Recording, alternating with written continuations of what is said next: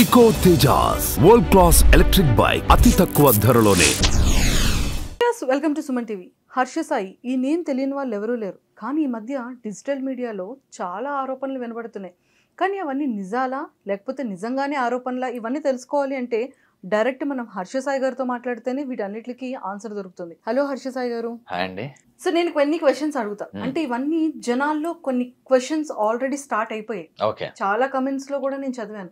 So మరి జనాల యొక్క కమెంట్స్ వాళ్ళ యొక్క క్వశ్చన్స్ అన్ని మీకు స్ట్రైట్ వేలో అడుగుతా. మీరు జెన్యున్గా ఆన్సర్ చెప్తారా? జెన్యున్గా ఆన్సర్ చెప్తా. First question please Harsha Sai betting యాప్స్ని ప్రమోట్ చేయడం అనేది. అది చాలా పెద్ద ఆరోపణగా ఇప్పుడు అంతా వినపడుతుంది. అది ఎంతవరకు కరెక్ట్ అంటారు? అది మీరు చేయడం కరెక్టేనా? నేను మిమ్మల్ని ఒక క్వశ్చన్ అడుగుతాను అనుకోండి. ఏంటంటే బేసిక్గా మీరు టిక్ టాక్ అన్న యాప్ని వాడారా? ఎస్ మీకు ఇష్టమేనా అది? ఓకే. ఆ బ్యాన్ అయిన టిక్ టాక్ని ఇప్పుడు వాడలేకపోతున్నా. కానీ భారతదేశంలో నలుమూలల యువత ఎందుకు బెట్టింగ్ని ఆడగలుగుతుంది? ఏ బెట్టింగ్ అన్నది ఇల్లీగల్ కదా. ఇక్కడే ఒక కిటుకు ఉంది. ఏ సమస్యకైనా సమాధానం దాని మూల కారణం ఏంటి అన్నది కనిపెట్టడంలో ఉంది. ఇప్పుడు బెట్టింగ్ అన్న సమస్యని అరికట్టాలంటే ఏం చేయాలి తెలుసా? భారతదేశంలో ఆ బెట్టింగ్ యాప్లు ఓపెన్ అవ్వకుండా దాన్ని తీవ్రంగా బ్యాన్ చేయాలి. ఎందుకంటే మీకు ఇంకొక సింపుల్ ఎనాలజీ చెప్తా. ఇప్పుడు ఒకరు ప్రమోట్ చేశారు. ఆయన ప్రమోషన్ ఆపారు అనుకోండి. ఇంకొకరు చేస్తారు. వాళ్ళందరూ ప్రమోషన్ కూడా ఆపితే డైరెక్ట్గా యూట్యూబ్లో ఫైవ్ సెకండ్స్ యాడ్ ఉందో చూసారా? దాని ముందు ప్లే అయిపోతున్నాయి. లేదా ఇన్స్టాగ్రామ్ స్టోరీస్లో స్క్రోల్ చేస్తుంటే ప్లే అయిపోతున్నాయి. సో ఇక్కడ ప్రమోట్ చేయడం అన్నది మనం అందరం ఒక సమస్యగా చూస్తున్నాం కానీ దాని రూట్ కాజ్ దాని మూల కారణం వచ్చి ఏంటంటే అది ప్రాపర్గా బ్యాన్ అవ్వట్లేదు అవి ఇంకా ఫంక్షన్ అవుతుంది. మరి దాని గురించి ఫస్ట్ దాన్ని అరికట్టినప్పుడు బెట్టింగ్ని ఎవరైనా ప్రమోట్ చేయాలన్నా అవ్వదు ఆడడం అవ్వదు ఆపరేట్ కూడా అవ్వదు. మొత్తంగా ఫుల్ స్టాప్ పడిపోతుంది. కానీ ఇప్పుడు క్వశ్చన్ ఏంటంటే టిక్టాక్ లాంటి యాప్స్ బ్యాన్ అయిపోయాయి. ఎవరు వాడడం అవ్వట్లేదు. కానీ ఇంకా స్టిల్ ఈ బెట్టింగ్ని ఎందుకు వాడడం అవుతుంది అన్నది. దీనికి ఏమైనా మీ దగ్గర సమాధానం ఉందా? అంటే కొన్ని పర్మిషన్స్ లైసెన్స్ ఉన్న వాటిని ఉంచుతున్నారు. కొన్ని వాటిని బ్యాన్ చేస్తున్నారు. వీళ్ళు ఏం చేస్తున్నారంటే సిస్టంలో ఉన్న లూప్స్ని వాడి ఆపరేట్ చేస్తున్నారు. వీళ్ళు ఎవరు చేసినా చేయకపోయినా అది ఫంక్షనల్ అయ్యేలా చేస్తున్నారు. మీకు ఒక చిన్న ఎగ్జాంపుల్ చెప్తాను నేను చేసినవి ఇంటర్నెట్లో మీరు చూసిన సెలబ్రిటీలు అందరితో పాటు పోల్చుకుంటే నేను చేసినవి చాలా తక్కువ. చాలా చాలా తక్కువ. నా దగ్గరికి ఎన్నో బ్రాండ్స్ వస్తూ ఉంటాయి. హర్ష సాయితో ఇది చేయాలని.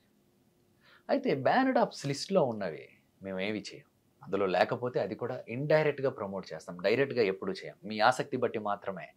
జాగ్రత్త అన్నది ముఖ్యం బాధ్యత అన్నది ముఖ్యం ఇలాంటి వార్నింగ్లు ఇస్తూనే చేస్తాం. సో ఇప్పుడు మేము చేయలేదు అనుకుందాం. ఏమవుతుందో తెలుసా? ఆ బడ్జెట్ మాకు ఏదైతే ఉందో కేటాయించే బడ్జెట్ వేరే పది మంది క్రియేటర్స్కి డిస్ట్రిబ్యూట్ అవుద్ది. వాళ్ళైతే మాలా చెప్పరు. వాళ్ళకు ఒక స్క్రిప్ట్ ఇస్తారు. ఇదే విధంగా చెప్పండి మేము ఇల్లులు కట్టుకున్నాం కార్లు కొనుక్కున్నాం అని. ఇంకొంతమంది ఇర్రెస్పాన్సిబుల్గా ఏదో ట్విట్టర్ సారీ టెలిగ్రామ్ లింకుల్ని క్రియేట్ చేసి అందరినీ అక్కడికి రప్పించి బలవంతంగా ఆడిస్తున్నారట. అంటే టెలిగ్రామ్ ఇంకొంతమంది ఏంచి వాళ్ళ డబ్బుల్ని తీసుకొని గాల్లో విసిరి ఏవో స్టంట్లు చేసి ఇలా ఆడితేనే వస్తున్నాయి అన్నట్టు అంటున్నారంట. సో ఇక్కడ మీరు ఆలోచించండి. క్లియర్గా ఆలోచించండి. ఇప్పుడు నా దగ్గరికి వచ్చింది. నేను వదిలేసాను అనుకోండి. మేము చాలా బాధ్యతగా చేస్తాం. ఈ పది మంది చేయడం వల్ల ఆడే వాళ్ళ సంఖ్య దారుణంగా పెరుగుతుంది. మేము చేయడం వల్ల బేసిక్గా ఇన్న ఇప్పుడు వరకు ఆ సంఖ్యను తగ్గించగలిగాం. అండ్ దాని నుంచి వచ్చిన డబ్బులు నాలుగు సా నాలుగు మంచి పనులు చేయడానికి వినియోగించాం. సో ఇలాంటి పాయింట్ని మీరు కనుక క్లియర్గా అండర్స్టాండ్ చేసుకున్నట్టయితే మేము చేయకపోవడమే పెద్ద తప్పు చేసిన వాళ్ళం అవుతాం. ఎందుకంటే అది ఇలాంటి మిస్యూజ్ చేసే వాళ్ళ చేత ఏదైతే మేము తీవ్రంగా ఖండించేది ఏదైతే ఉందో వాళ్ళకి వెళ్తుంది కాబట్టి. అలా మా కొన్ని మా ఫ్యాన్ పేజీలకు కూడా అలాగే ఇచ్చారు. మేము చేయడం ఆపేయగానే. వాళ్ళు కూడా అగ్రెసివ్గా ప్రమోట్ చేసేవారు. ఏం చెప్తాం మరి? మీరు ఒక పాయింట్ చెప్పారు కాబట్టి నాకు ఇంకొక డౌట్ వచ్చింది. టెలిగ్రామ్. టెలిగ్రామ్లో అంటే మీకు కూడా ఒక అకౌంట్ ఉండి మీరు పర్సన్స్ అందరినీ పీపుల్ అందరినీ కూడా యాడ్ చేసి లేదు లేదు. గేమ్ ఆడిస్తున్నారు అనేది కూడా వినడం లేదు లేదు. అది ఫాల్స్ ఎలిగేషన్. మేము ఏ రోజు కూడా ఏది యాడ్ చేయలేదు కావాలంటే దీని గురించి ఆల్రెడీ ఇన్స్టాగ్రామ్లో చాలా ఇదవుతుంది. నేను ఇంకొక ప్రూఫ్ మీకు చూపించాలనుకుంటున్నాను మీకు సంబంధించింది. మీ బ్యాంక్ స్టేట్మెంట్ అనేది. బయటకు లీక్ అయింది. మీ బ్యాంక్ స్టేట్మెంట్. ఇది మీ అకౌంటేనా? నాదే దాన్ని బేసిక్ ఏమంటారంటే బ్యాంక్ స్టేట్మెంట్ అన్నారు. అది ఇన్వాయిస్ అంటారు. ఓకే. అది ఎవరైనా ఎవరికైనా సృష్టించవచ్చు మీరు ఒక ఇంటర్వ్యూకి వంద కోట్లు తీసుకుంటున్నారు అన్నదానికి నా దగ్గర ఒక ప్రూఫ్ ఉంది. చూపించమంటారా? నేనా? మీరే. దీన్నే ఇన్వాయిసెస్ అంటారు. ఎవరు ఎన్నైనా సృష్టించవచ్చు ఎలా హండ్రెడ్ క్రోర్స్? ఎంత వెయ్యి కోట్లైనా సృష్టించవచ్చు అర్థమైందా? కానీ. నాకు వన్ వన్ డౌట్ ఏంటంటే నా డీటెయిల్స్ ఎలా వచ్చాయి మీకని? ఏముందండి? డీటెయిల్స్ సంపాదించి దాన్ని ఆ నెంబర్ని ఏ విధంగా అయినా మార్పు చేయొచ్చు. ఇప్పుడు డిజిటల్ క్రియేటర్ అన్నప్పుడు తన బ్యాంక్ అకౌంట్స్ చాలా కంపెనీల దగ్గర ఉంటాయి. కంపెనీల నుంచి ఏదైనా ఇది రావచ్చు. ఆ ఇన్వాయిస్లు బ్యాంక్ స్టేట్మెంట్లు ఒకటి కాదు. బ్యాంక్ స్టేట్మెంట్ అన్నది బ్యాంక్ అకౌంట్ హిస్టరీ. ఇన్వాయిస్ అన్నది మనం ఇచ్చిన కొటేషన్. అర్థమైందా మీకు? అంటే ఆ వ్యక్తి అంత స్ట్రాంగ్ విత్ ఎవిడెన్సెస్తో సహా అదే వెళ్తే ప్రూఫ్లు కూడా ఉంటాయి అంటున్నారు కదా. ఏంటి ప్రూఫ్ బ్యాంక్ స్టేట్మెంట్స్ నిజంగా మీకు అంత అమౌంట్ ఇచ్చినవి. యాక్చువల్లీ అది అంత కాదు కానీ దానికన్నా తక్కువే. నా హిందీ తెలుగు తమిళ్ అకౌంట్కి కలిపి చేసాం అది ఏ వీడియో కూడా మీకు చెప్తాను. అది బఫెలో వీడియో. మన మీ సుమన్ టీవీలోనే వచ్చిన వీడియో. అవును. ఆ సుమన్ టీవీలో మీరు ఒక స్టోరీ చేశారు ఒకప్పుడు. ఒక అబ్బాయి ఇలా ఇబ్బంది పడినాం దాని తర్వాత అది మమ్మల్ని అప్రోచ్ అవ్వడం. అదే ఇలా ఇబ్బంది ఆ ఇబ్బందిని చూసి కొందరు మోసగాళ్ళు మోసం చేస్తే అది మా వరకు వస్తే మేము వాళ్ళకి ఏదో ఒకటి చేయాలని ఒక పెద్ద బఫెలో షెడ్ కట్టాం. ఆ బఫెలో షెడ్లో కేవలం ఇరవై సెకండ్లు మాత్రమే lotus three sixty five news అనే ఒక వీడియో చేశాం. లోటస్ త్రీ సిక్స్టీ ఫైవ్ కాదు lotus three sixty five news. ఇక్కడ మీరు స్పోర్ట్స్ అప్డేట్స్ని మాత్రమే పొందొచ్చు అన్నాం. లింక్ను కూడా పెట్టలే. మేము లింక్నే పెట్టలేనప్పుడు ఎవరికి ఆడడానికి అక్కడ ఆస్కారం ఉంటుంది? మేము ఆ ముప్పై సెకండ్లు చేయడం వల్ల వచ్చిన డబ్బుల్ని కూడా మేము ఆ బఫెలో షెడ్ని కట్టి వాళ్ళకి ఒక జీవనాన్ని ఇచ్చి ఆ వచ్చిన ఆదాయంతో చుట్టుపక్కల ఉన్న పిల్లల చదువులకు కూడా ఉపయోగపడేలా ఒక ఈకో సిస్టమ్ని క్రియేట్ చేయగలిగాం. అంటే ట్వంటీ సెకండ్స్ ఆర్ట్కి మీరు సిక్స్టీ ల్యాక్స్ చార్జ్ చేశారా? అది ఫార్టీ ల్యాక్స్ ఏమో క్యాష్ రూపంగా నవోటల్లో రిమైనింగ్ ఆన్లైన్ ట్రాన్సాక్షన్. మీకు అదే చెప్తున్నానండి. ఇప్పుడు ఫార్టీ ల్యాక్స్ మీరు క్యాష్ అంటున్నారు. ఏ ఫైవ్ స్టార్ హోటల్లో అయినా లోపలికి ఎంటర్ అయినప్పుడు ఒక చెకింగ్ ఉంటుందండి మనిషి గారు చెకింగ్ ఉంటుంది. బాడీని మొత్తం చెక్ చేస్తారు. లగేజ్ ఏమైనా ఉన్నా కూడా చెక్ చేస్తారు. ఒకవేళ ఏమైనా క్యాష్ ఏమైనా స్కానర్లో కనపడింది అనుకోండి డైరెక్ట్గా సెక్యూరిటీ ఆయన ఏం చేస్తాడంటే రిసెప్షన్కి వెళ్ళి చెప్తాడు ఇంత క్యాష్ ఉందని. ఇంత క్యాష్ ఉంటే లోపలికి ఎలవ్ లేదండి. దాని ప్రూఫ్స్ ఏమైనా ఉందా? అనేసి ఒక ఇది ఉంటుంది. బేసిక్గా నవోటల్ లోపలికి ఫార్టీ ల్యాక్స్ క్యాష్ తీసుకురావడం అది ఇది చేయడం అన్నది నాట్ ఎట్ ఆల్ పాసిబుల్ అది ఇంపాసిబుల్ అది జరగడం. నవోటల్ లోపలికి క్యాష్ తీసుకురావడం అన్నది సో అయితే ఫార్టీ ల్యాక్స్ అనేది క్యాష్ రూపంగా మీరు తీసుకోలేదు? తీసుకోలేదండి. కానీ నిజంగా ఈ యాప్కి మీరు చార్జ్ చేసింది అయితే మాత్రం సిక్స్టీ ల్యాక్స్ ప్లస్ ఏనా ఇప్పుడు బేసిక్గా మేము ఎవరికైనా అడ్వర్టైజర్స్కి అడ్వర్టైజ్ చేస్తాం కదండి. వాళ్ళు ఏ విధంగా మేము ఇది మాట్లాడతాం అంటే ఆ వీడియోలో ఒక ఫిఫ్టీ పర్సెంట్ సిక్స్టీ పర్సెంట్ ఆ టైప్లో ఇది చేస్తాం. సో మేము అది సమ్వేర్ అరౌండ్ ఫిఫ్టీ అంత ఇది చేసాం కానీ ఆ వీడియోకి మేము ఖర్చు పెట్టింది దాదాపు తొంభై లక్షల దాకా ఖర్చు పెట్టాం. దానికన్నా ఎక్స్ట్రా ఖర్చు పెట్టాం. మీరు యాడ్స్కి ఎంతెంత అమౌంట్స్ చార్జ్ చేస్తారు? యాడ్స్కి అండి. నేను చాలా తక్కువ యాడ్స్ చేశానండి. అందరిలాగా ఎక్కువ ఎక్కువ చేయట్లేదు. ఇక్కడ బేసిక్గా నేను ఒకటి క్లియర్గా మీకు చెప్పాలనుకుంటున్నా. మేము యాడ్స్ కూడా ఎందుకు చేస్తామంటే ఏదైతే బ్యానడ్ యాప్స్ అన్నది ఒక లిస్ట్ ఉంటుందండి. ఆ లిస్ట్లో లేకపోతేనే చేస్తాం. అది కూడా చాలా డీసెంట్ వేలో చేస్తాం. ఎందుకు? అది కూడా మీకు కారణం చెప్పాం. అది మేము చేయకపోయినా ఆగట్లేదు కదండి. వేరే వాళ్ళకి వెళ్తుంది. వాళ్ళు వాళ్ళ స్వలాభాలకు వాళ్ళ వాళ్ళ ఆస్తుల పెంపకాలకు లేదా దీనికో ఇది చేస్తున్నారు. మేము దాన్ని బాధ్యతగా చెప్పగలిగి దానిలో ఉన్న ఆడేవాళ్ళని తగ్గించగలిగినప్పుడు ఆ వచ్చిన డబ్బుల్ని నాలుగు మంచి పనులు వినియోగించడానికే మేము చేస్తున్నాం. చాలా తక్కువ చేసాం మేము ఇప్పుడు వరకు. అడ్వర్టైజ్మెంట్ బట్టి స్టార్టింగ్లో అయితే ఫస్ట్ టైం నేను చేసినప్పుడు అయితే ఫస్ట్ టైం చేసిన బర్రీ మ్యాచ్కి అయితే ఏ టెన్ ల్యాక్స్ అంత ఇచ్చారు అన్నిటికీ కలిపి. తర్వాత ఓకే మేము చేసిన వీడియోలో ఒక ఎంత మేము చేసిన తర్వాత మేము చేసే వీడియోకి ఎంత బడ్జెట్ అయిందో ఒక థర్టీ పర్సెంట్ అలా ఫార్టీ పర్సెంట్ ఫిఫ్టీ పర్సెంట్ అలా డిఫరెంట్ డిఫరెంట్ ఒక్కొక్కరు ఒక్కొక్కలాగా ఇది చేస్తారండి. అది ఇన్స్టాగ్రామ్లో స్టోరీస్ కనుకోండి ఒక ఫైవ్ ల్యాక్స్ ఆ విధంగా ఇది వస్తుంది. అది కూడా మేము ఏదో రీల్లో తిరిగి ఇచ్చేయడం ఏదో ఒకటి ఉంటుంది. అంతకు మించి ఇందులో ఏమీ లేదు. ఓకే. అండ్ ఇంకొక ఆరోపణ. అంటే ఒక రూపాయి ఖర్చు పెట్టి పది రూపాయలు సంపాదిస్తున్నారు అని. దీని మీద మీ ఎక్స్ప్లెనేషన్ ఏంటి?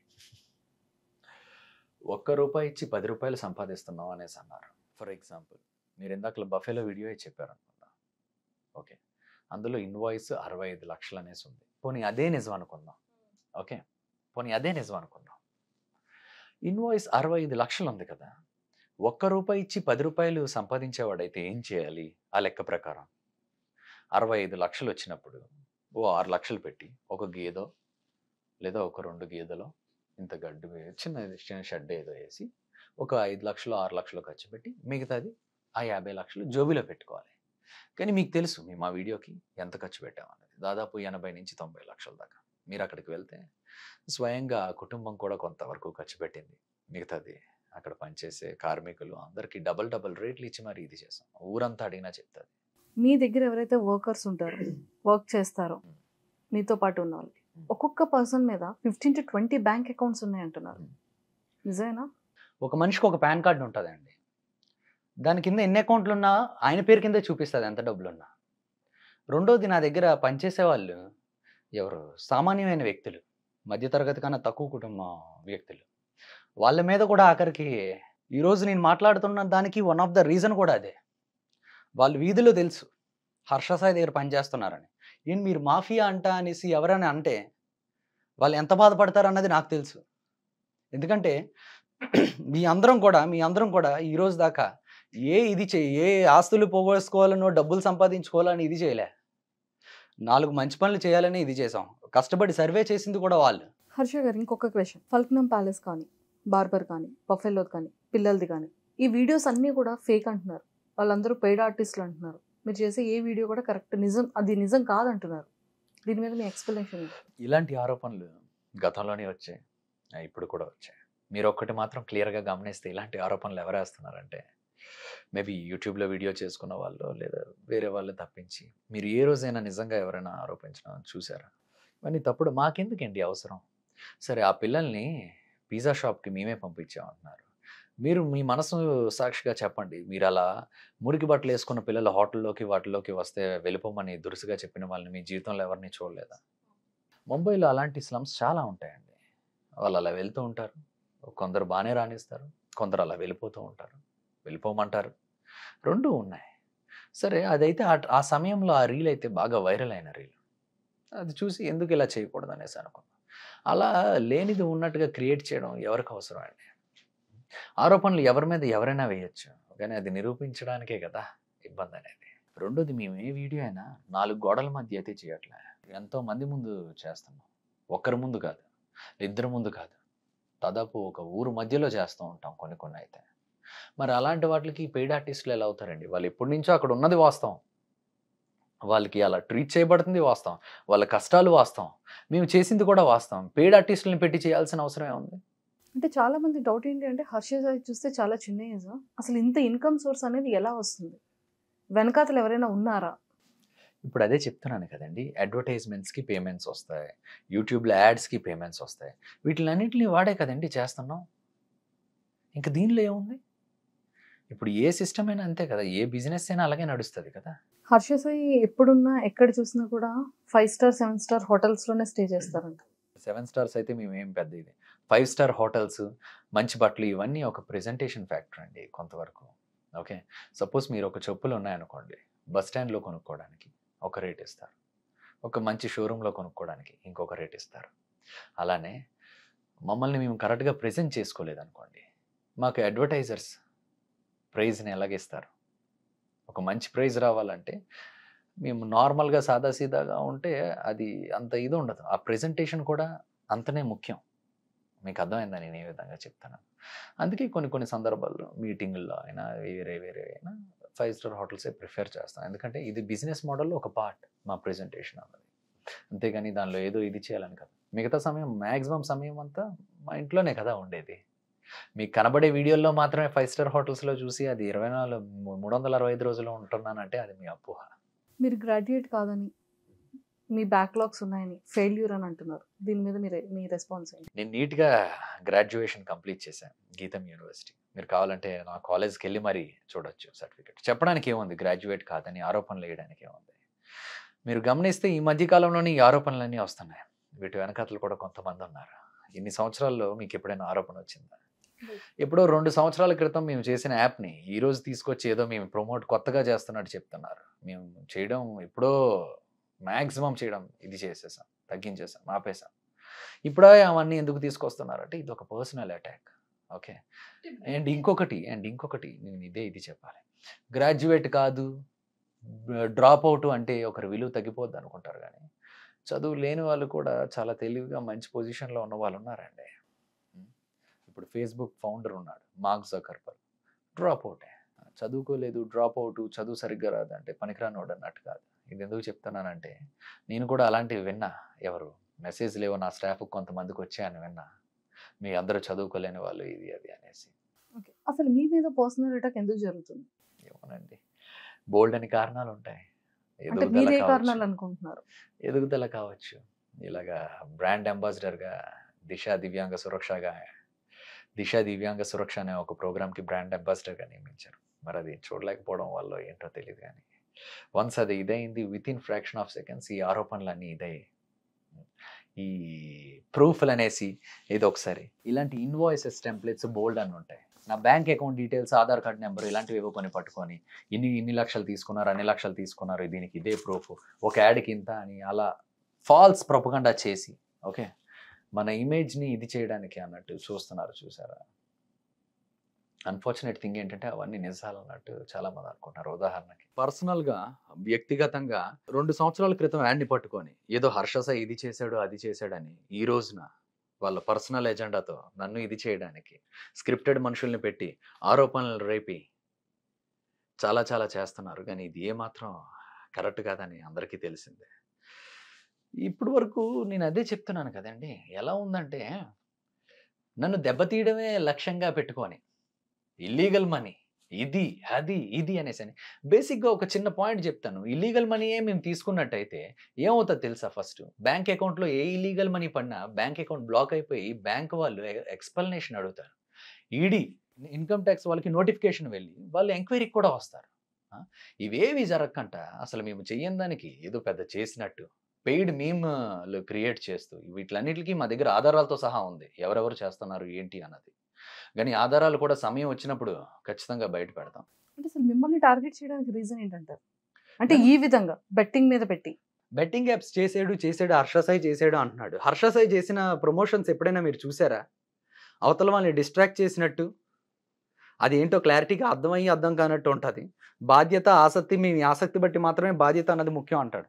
ఇప్పుడు హర్షసాయి చేస్తే అలా ఆ విధంగా చేస్తే ఈ దాంతో పో ఇప్పుడు హర్షసాయి చేసే దాంతో పోల్చుకో నేను చేయలేదన్నా నేను చేయలేదనుకోండి.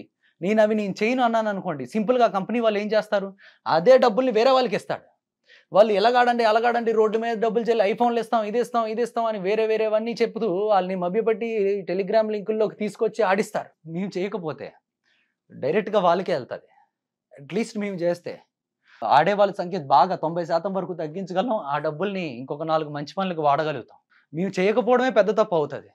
అలాని ఏ పడితే అవి మేము చేయం బ్యానర్ లిస్టులో లేనివే మేము చేస్తాం. ఒకవేళ డబ్బులే కావాలి బెట్టింగ్ యాప్సే ప్రమోషన్ చేయాలంటే వందల ప్ర- వందల బెట్టింగ్ యాప్స్ ఉన్నాయి. మా దగ్గరికి అందరికీ మాకు మా ముందు లైన్ కట్టే. సంవత్సరానికి వంద కోట్లు ఇస్తాం ఐదు వందల కోట్లు ఇస్తాం అన్న వాళ్ళు కూడా ఉన్నారు. కానీ మేము ఏ రోజు అయితే అలా తీసుకోలేదండి. మేము తీసుకున్న ప్రతి రూపాయి ఒక ఒక సపోజ్ ఒక స్టోరీ పెట్టి అందులో ఎంతో కొంత మిగిలింది అనుకోండి మేము అవి వేరే వాటికి దాస్తాం. ఒక గుడిని ఇప్పుడు మేము డెవలప్ చేయడానికి ప్రయత్నిస్తున్నాం. దాన్ని కూడా ఆపడానికి ట్రై చేస్తున్నాం ఆ గుడిని డెవలప్ చేయించడం వల్ల ఆ చుట్టుపక్కల ఉన్న వంద గ్రామాల మీద దాని ప్రభావం పడుతుంది. చుట్టుపక్కల ఉన్న వంద గ్రామాల మీద దాన్ని కరెక్ట్గా డెవలప్ చేసి పబ్లిసిటీ చేయగలిగితే ఆ చుట్టుపక్కల ఉన్న భూములు పేద రైతులు పేద కార్మికులు అందరి జీవితాలు మెరుగవుతాయని ఎంతో కష్టపడి మేము చేస్తున్న దాన్ని కూడా ఆపడానికి ప్రయత్నిస్తాం ఒకే ఆరోపణ పదే పదే పదే పదే పదే పదే. ఒకవేళ ఒకవేళ తెలుగులో ఎవరైనా బెట్టింగ్ యాప్స్ చేసిన వాళ్ళు తక్కువ చేసిన వాడు ఎవడైనా ఉన్నాడంటే అర్షసాయే ఒక ఫోన్ కాల్ అండి ఇప్పుడు. సపోజ్ మనిషి దగ్గర ఒక ఇలా కెమెరా ఉంది. ఒక ఫోన్ కాల్ చేస్తాం. ఎవరో మనుషులు మా మనుషులతోనే మాట్లాడించి ఏవో ఆరోపణలు వేస్తే మీరు నిజమా అబద్ధం అన్నది చెప్పగలరా అవి? ఆ మనిషి ఎవరో తీసుకొని వచ్చి ఆ స్టేట్మెంట్లు చూపించమానండి. ఈ హర్షసాయి వల్ల అయిందని చెప్పమానండి. ఆయన యాభై లక్షలు పాతిక లక్షలు పెట్టి ఎవరు ఆడతారండి? ఎవరు ఆడతారు? డబ్బులు ఎక్కువైపోయిన వాళ్ళు ఆడతారు.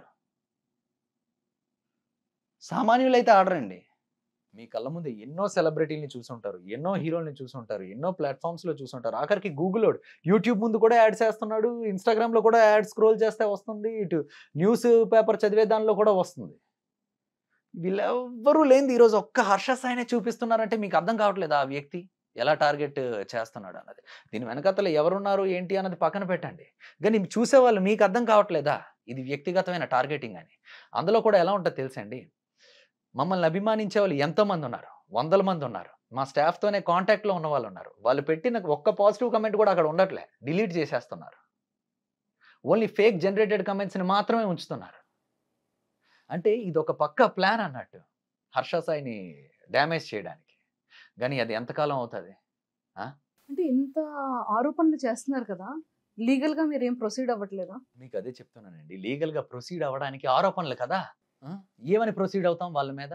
ఎవరిని ఇబ్బంది పెట్టడం మా ఉద్దేశం కాదండి. అలా పెట్టాలనుకుంటే ఇన్ని లక్షలు సంపాదిస్తున్న హర్ష సాయి తిరిగి ఏవి చేయలేడా? అలాంటి ఆరోపణలకి అలాంటి ఫేక్ మనుషుల్ని ఇంకా పెట్టి చేయించలేడా? తిరిగి అటాక్ చేయించలేడా? కానీ ఒకటే నమ్ముతానండి. నిజం న్యాయం ఎప్పుడు గెలుస్తుంది. ఎవరు ఎన్ని ఆరోపణలు ఎన్ని సృష్టించినా కూడా. నేను ఈరోజు చెప్తున్నా ఇవన్నిట్ల వెనకాతల ప్రతి ఒక్కటి ప్రతి ఒక్కటి నేను బయటికి తీస్తాను. వాళ్ళు ఎవరు అన్నది ఖచ్చితంగా బయటికి తీసే తీరుతాను. అండ్ ఆ రోజు మనం మళ్ళీ కలిసి ఇంటర్వ్యూ చేసుకుందాం. మీరు బాగా కోట్లు సంపాదించి పెద్ద పెద్ద కార్స్ కానివ్వచ్చు అండ్ అలానే పెద్ద పెద్ద బంగ్లాలు కూడా కట్టారని చెప్పి చాలా మంది ప్రూఫ్లు కూడా చూపెడుతున్నారు. అదేనండి.